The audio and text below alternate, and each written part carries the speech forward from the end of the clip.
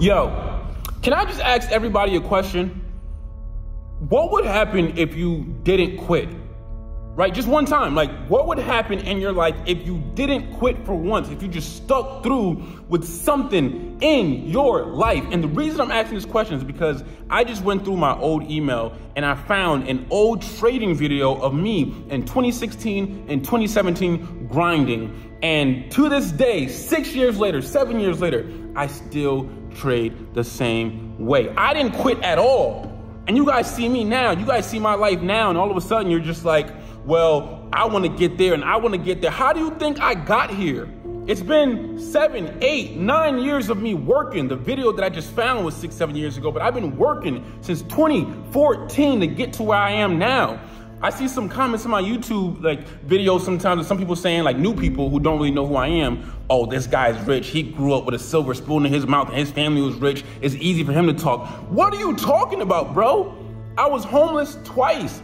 I barely had money to afford, you know, not even barely. I didn't have any money to afford the private high school I went to. Luckily, a mentor I had, I afforded a scholarship and a mentor paid for it. Not a mentor I knew, it was like some anonymous mentor at the time. And then I ended up meeting him, we ended up having a good relationship. But the point I'm trying to make is, I was always in the trenches. And when I made that video of me trading, I was in the trenches. A 700 square foot apartment, two bedrooms. My bedroom was the absolute smallest. I barely had anything to my name in 2014, 2015 when I dropped out of college. And then in 2016 and 2017, I started finding my groove in the market. Started making 2,000 and 3,000 and 5,000 and 4,000. Yeah, I was still breaking even here and there, of course, and having some losses. We all do. But the point I'm trying to make is I was grinding and I didn't quit. And now six, seven years later, it's like, it's a crazy feeling for me to go back and watch that video and see how I was trading back then, to understand I still trade the same way now. And all I did was hone in on my craft. All strategies work. It's just the person who's implementing it, whether it's institutional trading, price action, it doesn't matter what it is.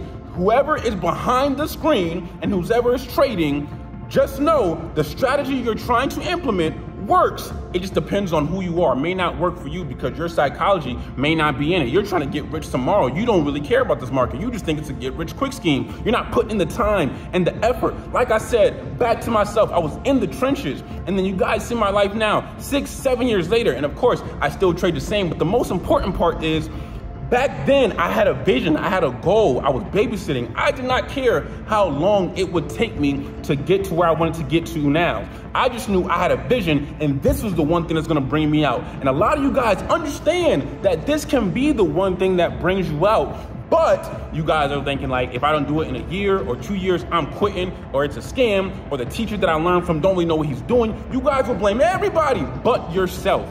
I took eight, nine different courses from the six people who I didn't really learn from, I didn't really take too much information from. I never called them a scam. Not one time. All I said is their strategies don't work for me, but more power to them because it works for them. And guess what? I finally had my aha moment. I finally had my breakout season. And guess what? Six, seven years later, you guys see me now. Private jets, beautiful wife, beautiful daughter, courtside at NBA games. My mom's retired. My brother's retired. College debt is all paid off from all my family. And that came because I took the time in this market. I took the time to understand business. I took the time to understand people. I took the time to understand myself. I took the time to understand trading. And I didn't give myself a time limit. And the reason I'm so passionate right now is because a lot of you guys don't think I was just in your position a few years ago. You guys think I was just, this was just easy to me, like I wasn't just in your position buying courses, buying signals, you know, being in Telegram chats, reading free information, reading books, I was doing the same thing you're doing. The difference with me and the difference with the one percenters in comparison to y'all is some of y'all quit. And for those who's watching this video who are on your last leg in this market, I'm telling you right now, try to find some energy and understand you don't need a last leg in this market.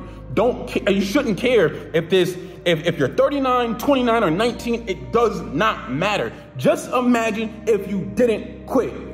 If you looked at this market as if like you would look at your son or your daughter, like, yeah, like it's gonna be hard to raise my kid, as it's hard to raise any kid, but like I love it, right? Like my kid has the potential, or not the potential, my kid is like one of the happiest things, if not the happiest thing in my life. I'm not talking about myself, because obviously Laura is, I'm talking about people in general.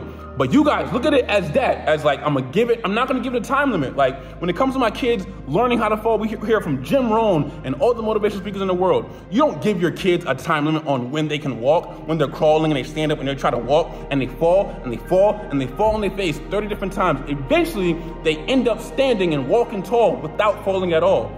You let them go until they figure it out. I need you guys to do the same thing. If not, guess what? You're not hurting me. You're hurting yourself. I'm good.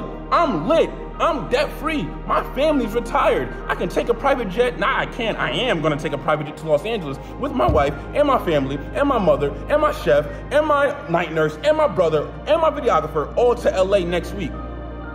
Because I took the time in this market. I need to breathe because I'm ranting. And I just want you guys to understand that I was in the exact same position you guys were years ago. The difference is I didn't quit. And just imagine if you didn't quit something for once in your life. Quit smoking, quit everything else, quit fast food, quit TV. Don't quit this market. Don't quit on the gym, don't quit on your health, don't quit on your love life. And just lock in for 365 days like fully, fully lock in. Get fed up with your situation. Get fed up, like fed up if you're working at your job. Fed up like I was uh, being on TV when I hated TV so much. I was so fed up. Get fed up. Put the work in. Double the efforts. And come back in this video and talk to me 365 days from now and let me know your progress. I guarantee you have some improvement. Don't quit. I'll holler at you guys.